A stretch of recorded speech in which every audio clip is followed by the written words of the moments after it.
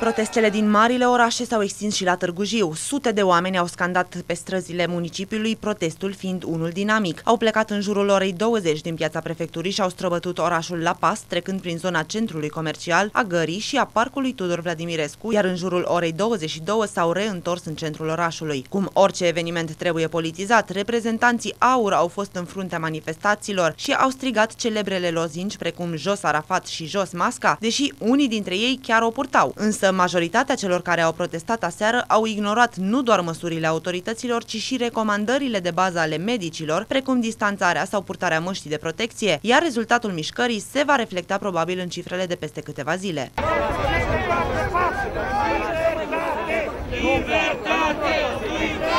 Cei mai mulți erau preocupați să transmită live evenimentele din piața prefecturii, iar traseul a fost greu de stabilit chiar și de către organizatori. Or să facem, să mergem spre coloană. Olha!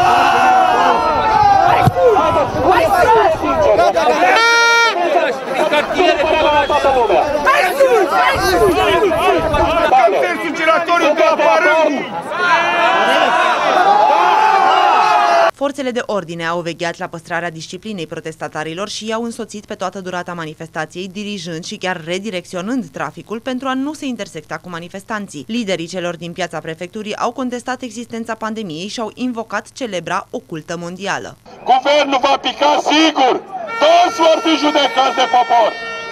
Acum avem șansa pe ultima sută de metri să spuneți despre colonia mondială COVID că totul a fost o farsă a noi ordini mondiale, a oculte mondiale, de a robi omenirea. Deși s-au strâns sute de oameni care nu au respectat prevederile legale pentru combaterea infectărilor cu noul coronavirus, oamenii legii au aplicat doar câteva sancțiuni. Cu toate că zilnic sunt comunicate sute de sancțiuni pe raza județului Gorj, aseară, la Târgu Jiu, au fost identificate doar 20 de persoane care au încălcat normele în vigoare, deși imaginile spun altceva. IPJ Gorj a transmis că la evenimentul de aseară a fost aplicat un număr de 20 de sancțiuni contravenționale în valoare de 8500 de lei pentru nerespectarea prevederilor legii numărul 55 pe 2000 2020. Oamenii legii spun că în continuare vor fi desfășurate activități de identificare a persoanelor care nu au respectat normele legale, urmând a fi dispuse măsuri corespunzătoare, asta deși o armată de polițiști și jandarmi au fost la fața locului, dar se pare că nu i-au putut identifica pe cei care au încălcat legea. Manifestările s-au încheiat aproape de miezul nopții. Proteste se anunță și în această seară, începând cu ora 17.